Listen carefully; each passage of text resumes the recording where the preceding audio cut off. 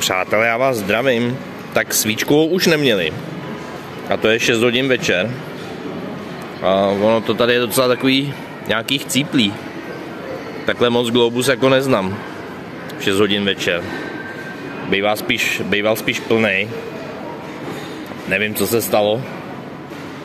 Ale tak měli. Jsem přemýšlel, co si dá, tak, tak měli srbský risotto.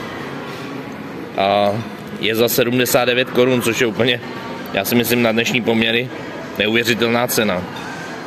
79 korun za takovýhle krásný risotto. A ještě dostaneš ubrousek a přejeme vám dobrou chuť.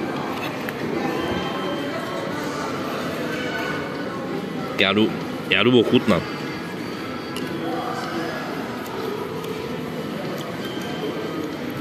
Ale to risotto je, risotto je úžasný. Okurku asi teďka ochutnávat nemusím. Předpokládám, že asi všichni víme, jak chutná okurka. A dám ještě jednou na kameru.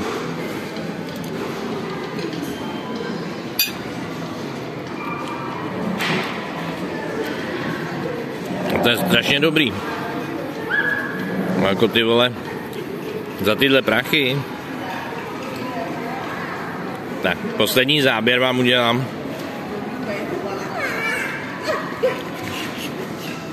A jdu jíst. Mějte se krásně. A čau.